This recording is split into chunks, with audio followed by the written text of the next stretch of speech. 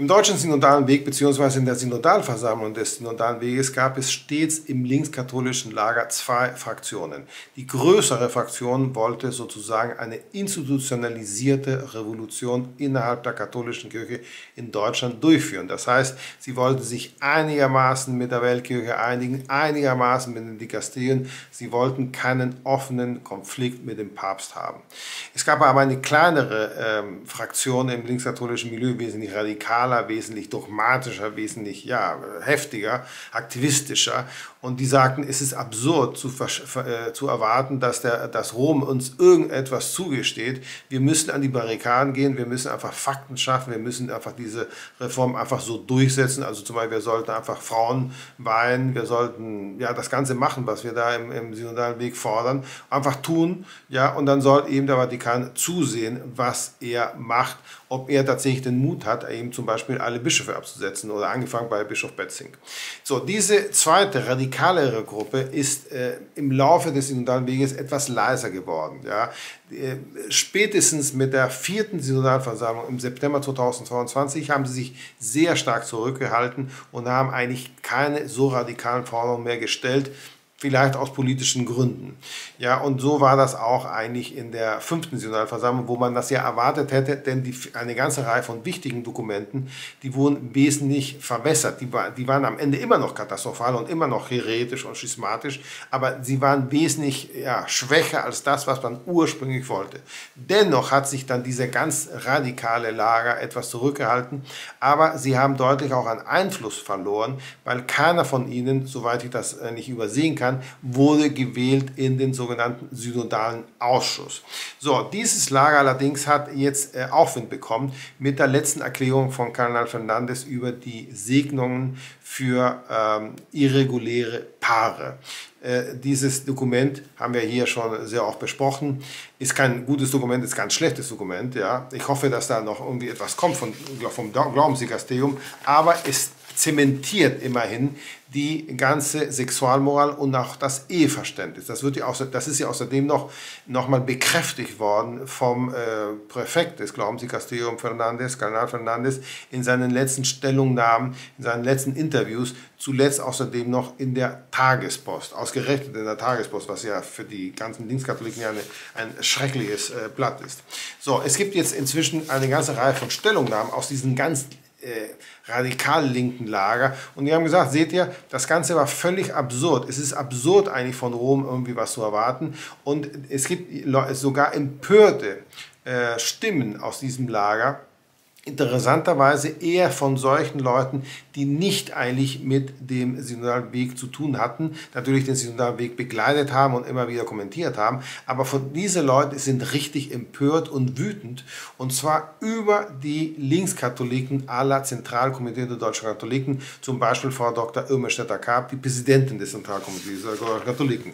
Ich werde heute hier ein sehr wenige Ausschnitte von einem sehr langen Artikel, einen ja, recht interessanten Artikel, und zwar von Professor Norbert Lüdecke. Und er sagt genau das. Bei ihm platzt der Kragen. Er sagt, es ist unerträglich, dass diese ganzen moderaten Linkskatholiken ja dieses Dokument Fiducia Supplicans loben. Das ist völlig absurd. Er sagt sogar, die, äh, die Präsidentin des Zentralkomitees der deutschen Katholiken geht so weit, dass sie sogar gejubelt hat über dieses Dokument. Also er hat überhaupt kein Verständnis dafür, weil er sagt, dieses Dokument ist toxisch, ist diskriminierend, es ist schrecklich, es zementiert die Sexualmoral etc. etc. etc. Und bei ihm, ja, man merkt richtig, er ist völlig außer sich vor Wut, ja, und kann das alles überhaupt nicht fassen. Wie gesagt, da, da sein, seine Stellungnahme ist sehr lang, aber hier ist wichtig, denn äh, ich werde hier nur ein paar äh, wichtige Stellen hier wiedergeben, zitieren, wo er eigentlich sagt, dass das ganze Machtapparat des Vatikans im Grunde genommen ja, illegitim ist. Ja? Und das sind gerade diese Leute, die ihm solche äh, Papiere produzieren, die ihm diese Sexualmoral, diese ja, toxische, diese despotische Sexualmoral aufrechterhalten. Und zwar aus reiner Macht, äh, aus, äh, aus reinem Machtinteresse. Das ist, was er sagt. Das heißt, er gibt tatsächlich die Argumente, um eine wirkliche Revolution, das heißt wirklich eine, eine heftige Revolution durchzuführen in der katholischen Kirche und sagen, es ist uns egal, was Rom äh, denkt, wir werden jetzt Fakten schaffen. Das ist eigentlich, was er diesen ganzen Linkskatholiken äh, sagt. Und er wirft ihnen vor, dass sie nicht den Mut haben, eben tatsächlich eine richtige Revolution in der Kirche durchzuführen. Wie gesagt, ich werde nur vier kurze Zitate bringen, weil das ist ein sehr langes äh, und, ja, und sehr dicht geschriebenes Dokument. Er außerdem auch beschreibt das ganze Dokument Fiducia Supplicans und immer wieder ja, zeigt er sich empört über Irmestädter Kab etc. etc. Aber er sagt Folgendes, also damit Sie sehen, wie radikal diese Leute drauf sind. Also das ist wirklich unglaublich. Das heißt, wenn diese Leute Einfluss gewinnen, dann äh, ist richtig was los hier in Deutschland. Und zwar, er sagt, auf dem ersten, nicht zweiten, ersten Vatikanischen Konzil haben Papst und Bischöfe das Kirchenmodell einer absoluten klerikalen Wahlmonarchie für unabänderlich erklärt. Ja? Das heißt, er sagt, die, diese ganze hierarchische Verfassung der Kirche ist im Rom, ja, ist ein Fake eigentlich. Das haben diese Leute da in Rom irgendwie dann einfach konzipiert, ja, weil sie dann eben so eine, eine Machtstruktur hatten, die natürlich ihnen passt. Dass im Geschlechtsakt Liebesausdruck und Nachkommenzeugung untrennbar sind, gilt lehramtlich als anthropologisches und sittliches Muss.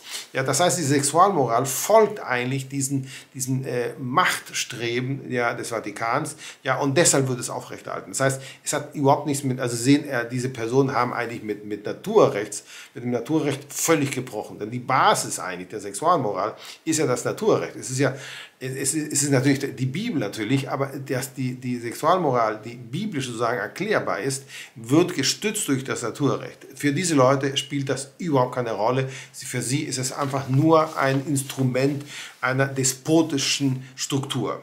Und so, so sagt er weiter, ich springe hier ziemlich heftig, weil ich das nicht so lang machen will.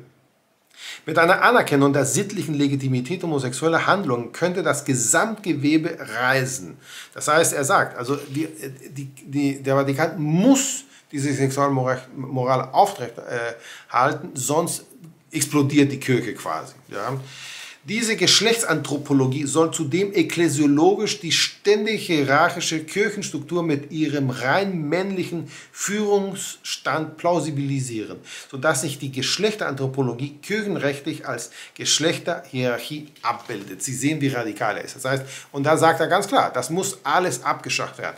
Also das ist wirklich das Postulat einer wirklichen radikalen Revolution. Das heißt, so wie, wir das gesehen haben, mal wegen der bolschewistischen äh, Revolution, der kommunistischen Revolution. Das heißt, die ganzen Herrschaftsverhältnisse müssen völlig zerstört werden, tabula rasa, es muss etwas völlig Neues kommen. Also so radikal habe ich das eigentlich selten. Selbst die Heinis da im, im synodalen Weg haben sich nicht so in dieser Radikalität äh, geäußert. Denn ich sage mal so, ich meine, wer, wer, schreibt sowas? Das ist ja da, selbst, selbst die Lutheraner ja, haben ja eine gewisse Hierarchie noch und so weiter.